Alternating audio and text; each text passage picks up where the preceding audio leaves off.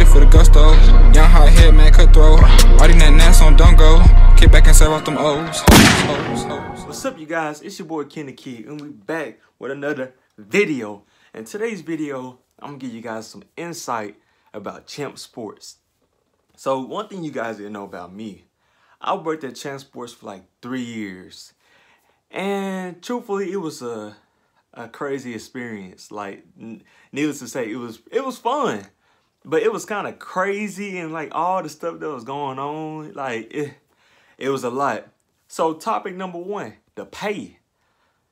So you guys, the pay at Champs, truly, if you're looking to get paid like that, you ain't gonna get paid that much at all. Truly.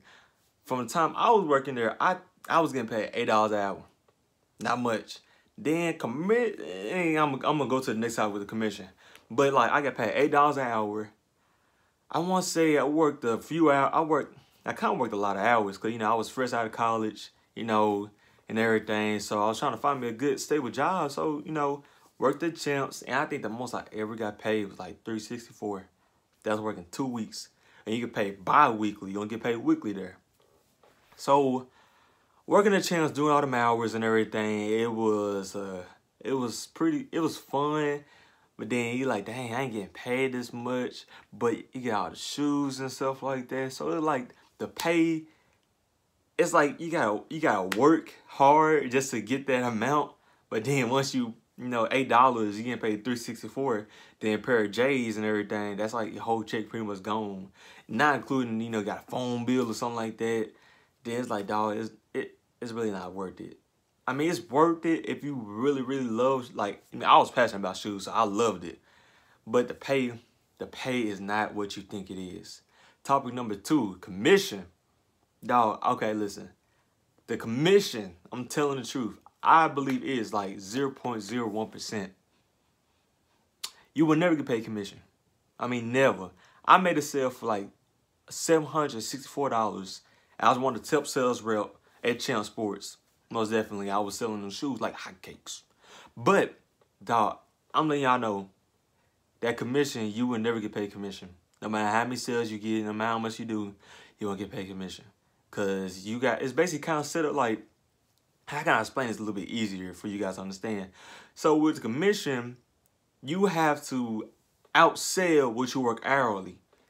And you working hourly, you never outsell your hourly pay. You get what I'm saying? Let's say you work 80 hours. Then the commission, you you probably you probably make you probably sold like a couple thousand. That commission is 0.01%, I believe is 0.01%. You won't get paid that commission. I never seen commission on my paycheck in a, over the three years. I never, I mean, I never seen commission. So when they say, oh, you get paid our commission, it's it's kind of like it's kind of like a semi-scam, but it's really not a semi-scam because, you know, you kind of make sales to keep your job kind of sort of.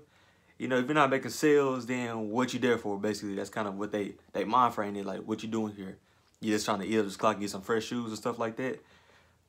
It's like, eh. It's like, dang, I kind of am, but I'm trying to keep the job so I can, you know, get the shoes and stuff like that. But then that commission, you ain't to ever get paid that. So it's like, okay, the commission is booty cheeks. Let's start out there. It's complete booty cheeks. Like, bruh, doodle butter. Don't even try to get commission, bro. I mean, you make your sales, but commission is not there. The discount. So, okay, I'm trying to remember because, you know, it's been a while for me. With the discount, you got yourself a black card, and it's going to say your name stuff on there, and it's going to say Foot Locker. It ain't going to say Champs because, you know, Foot Locker is like kind of top of it and everything. like branches of it. So, like, yeah, you got Foot Locker, you got Champs, you got Foot Action, and some other spots. Let me know down in the comment if I forgot some spots. But, yeah, like, so the discount, you get crazy discounts for sure. Let's say they got 50%. Then you swipe your discount. I believe the discount is 30% off. And you got 50% on top of 30%. You got 80% off. And that's a, that's a heck of a deal. Like, dude, you paying 80% off on, like, some clothes or something? Like, you can rack up all day. So the discount is worth it. Like it uh, also the discount you can only use it on select Jordan releases. I mean, what I mean is, I got some receipts, bro. Like, for for example, I don't know if you guys can see it tonight. Nah, nah, nah, you ain't gonna be able to see that, but I, I keep all my receipts too, by the way. So I had the Air Jordan 9 OG white and blacks. That's the one with the Space Jams. Excuse me, guys. That's the one with the Space Jams and everything. They kind of releasing everything with that. I basically, the shoe retail for 190 My discount knocked off 50, it knocked off $57. So I end up paying, with tax, tax and everything, that's 10, I believe it's 10% or 9% here in Arkansas. But with tax and everything, 133 plus $11.97, I end up paying $144.97. That's a deal. From 207 with tax to 144.97 with tax, bro, that discount is worth it. Like that that black card is worth it. Like for sure, for sure. But you go towards the Air Jordan 11 releases, you can't use it. You know, I got on my my receipt right here. You you can't use it at all. Like it's like I try getting um I believe it's the UNC 11s. Yeah, I couldn't use my discount. I had to pay 220. I had to pay flat out 220. I was butthurt. I was like, oh no, why? But yeah, I paid 220. Yeah, yeah, yeah. It's it's crazy. It's crazy. But I believe like the low, yeah, you like for the low 11s, you can use your discount. That's crazy, right? But yeah, like I was saying, for the low 11s, you can use your discount. That's like crazy to me because they both 11s. But the thing is that kind of gets it is the high top 11s, what the regular 11s, which whatever you want to call them, the regular 11s, they is very hyped up. So Foot Locker is gonna make their money off of everybody, even employees. But the lower 11s, don't many people like those shoes. So it's like it can it's like a win win lose situation. Cause like not I, I say you can use a discount on ones, twos, three, fours, five, six, all the retros except for the elevens. It's like that's that's wild. Like it's it's crazy because the low elevens, I mean the hot the regular eleven, like that's the shoes that everybody want, everybody itching for. You know what I'm saying? So yeah, and then let's say oh yeah, I want to say this too. You can use your discount on like Black Friday deals too, cause at Champs, little you know, they have a Black Friday sale, and that's when we reg tag everything, everything on the wall from Jordan, Nike, Puma, Reeboks, New Balance, everything that we got shoe, everything that we got that shoes, that's red tagged. And that's when you get the most and make that bank for that discount, boy. You tell me I'm going out there, I'm coming out that store with about six pairs of shoes. This is how I went. Like for sure. Like that discount, bro. That discount worked it. So if you trying to go there for that discount, I say the discount is, is worth it. Most definitely get that discount. Cause you ain't gonna that you ain't gonna get that shit. Excuse me, I can't cuss. But you ain't gonna get that nowhere else. Where like you get some high quality retros for a nice discounted price. Psh, can't beat that. Except you work for the Nike factory. That's that's another topic for another day. So also going towards like the people like like top I believe we're on topic number four, three, three or four, one or two. My bad you guys. But on to the next topic is basically the people. I'm be honest with you. The people will get on your nerves. They will test you. Like let me I'm about to get close. I'm gonna get personal with y'all. The people will drive you crazy. They will frustrate you. They will make you question life. They will make you so furious. Like, people will be people. And especially the kid sizes. Oh my goodness. Man, it's like, you know, people don't know their sizes for their kids. You know, that's your child. You should know the size of your child foot. So, you know, me, I'm gonna tell you my story. So I'm working over there in the kids area. I'm helping these people out. I said, okay, what size, you know, y'all want for your kids and everything, trying to show the shoes and everything, sell them some shoes and stuff like that. And I'm like, oh yeah, we got these baby Air Force Ones, the black black forest activity, you know what I'm saying? The black forces for the babies. And I'm like, what size y'all, you guys need? Like a 3C, 2C? They're like, oh, we don't know. So grab us a 3, 4, 5C. I'm like, this baby foot no bigger than my, my hand. And like a, a 3C is about, it's about, about that size, you know what I'm saying? It's not that, it's not really big, but it's my 5, 6C, I'm looking at that baby foot. I'm like, so do you guys want me to measure the child foot? Because we got these little kid, um, side, I forgot the name of the things, but they metal racks. Not metal racks, but little metal things you can kind of, you know, check the width of the baby foot. You can check the the length of everything so you can get the correct size. They didn't want to do that. I like, okay, so I grabbed them six pairs of shoes, six pairs of the different, all different sizes, ranging from 5C and up and down. I like, dude, all these shoes, I'm walking in here like this, is struggling, trying to get it out there. Turn out they didn't even buy the shoes. They didn't buy nothing. I said, I said, you know what? I'm gonna go back there and chill out for a second, cause that that's a drove that drive me. And like you guys, I'm gonna be honest with you, once you go inside champs, that's there's no size shoe you wear. That's to help us out. We'll help them out, cause man, it's so frustrating when you, people don't know their sizes and they trying about six pairs of shoes. And like, God dang, come on, dog. Like, come on, man. Like, like y'all, y'all don't know that. Y'all know y'all size. Like, it, it's so driving. Like, just know y'all size. That that's like one of the biggest things that got me and drove me because don't nobody know their size at all. Then you got the people that come in there that talk to you all day all day. Yeah, it was cool. You met some cool people and everything. But then they talking all day and everything. Then they trying to figure out which shoe they want. And then so they talk about three hours and you sitting there like, like okay, then you trying to help somebody else. Then they just come up to you and like, hey, I want this shoe, bro. Like, all right, I got you. They're like, oh, I don't like the shoe, really, bro. What you think? Like, bro, they, they, they cool. I like them. I'm full with them. Nah, I don't want them. And then so they'll leave, they come back, then they keep on trying to chop up with you. Everything like, you know, you got a job to do. You know, I, I you know, I'm a people person, but you know, I got a job I gotta do. You know, I'm trying to I'm trying to make some bread. And you know, you kind of hurting me by trying to, you know, you you kind of socializing with me. Well, I could be helping somebody else that need the help the most. You know, it's it's kind of stuff like that. You're gonna get them people that's gonna agitate you. You're gonna get the people trying to steal. Like, I kid you not, I had some dudes that's legit stole some shoe cleaner.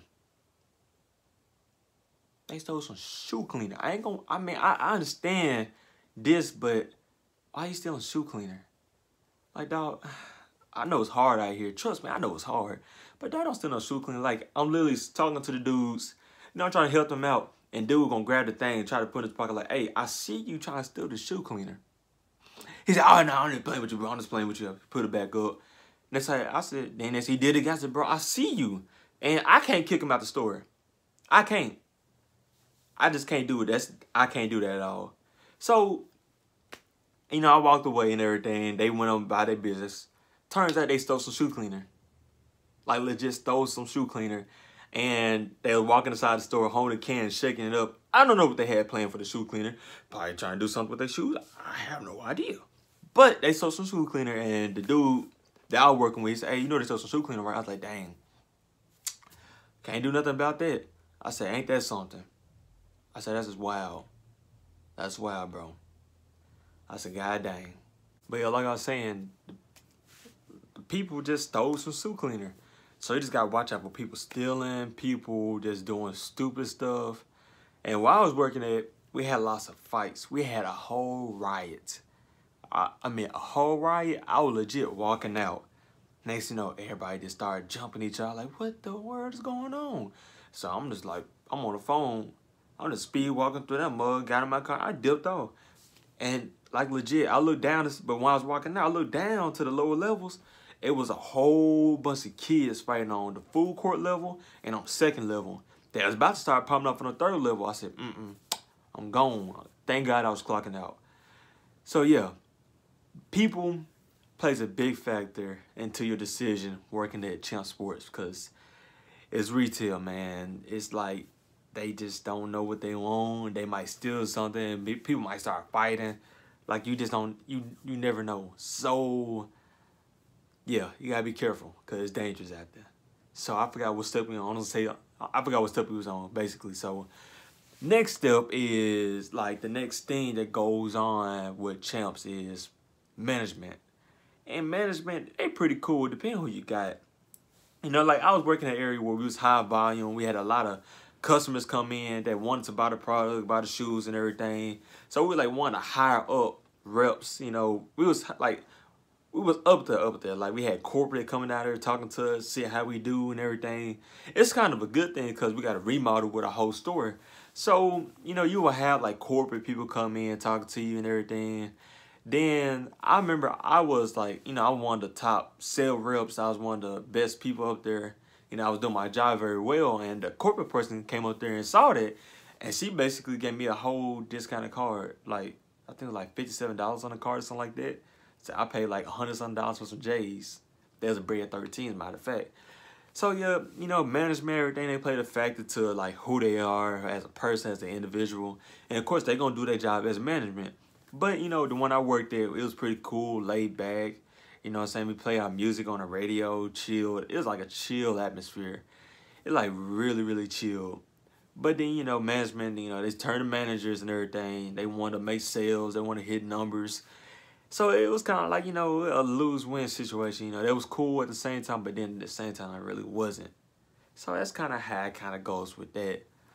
So then another thing, also, lastly, is, you know, working at Champs, you're going to be standing up a long time. So, you know, just got to be standing up and all that stuff. And that's really not a big factor. Wear some comfortable shoes. That's the truth. Like, just wear some real comfortable shoes.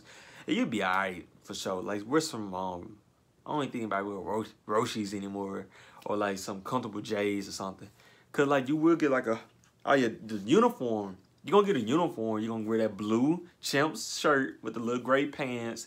You get the shorts or the pants. Then you can wear any shoes you want. But they got the catch is the shoes gotta be from Champs or Foot Locker. They got to. It can't be from nowhere else. It can only be there because I remember I wear my Jordan 21s. I think it's yeah my 21 playoffs. And they're like, where you get them shoes from? I was like, uh, I got it from Nike. They're like, no, you can't wear that here. You just can't. You can't wear it no more up here at all. I said, dang. Then I had some um some um Adidas Superstar Xenoverses. That's when I changed colors and everything. I said, no, you can't wear it up here. I'm like, God dang, it's just shoes. I'm like, dang, I'm trying to show my swag on, but y'all hate on the swag. Like, what's up with that?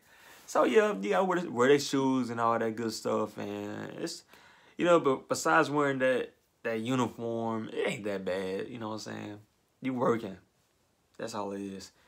Then trying to think what else, you know, but overall, you know, just to cap off what, what I said about working at Champs, it's a dope area. Like, the pro is, you know, it's good to work there. You know, it's fun. It's a great environment. You get this kind of shoes, this kind of clothes. Then the con is, you know, you got to deal with crazy people, deal with, there's people in general because, you know, it's retail. And you're not getting paid that much. And the commission is trash. It's due to butter. So that's kind of like, you know, the pros and cons of all the champ sports stuff. So you guys, I appreciate, I can't talk.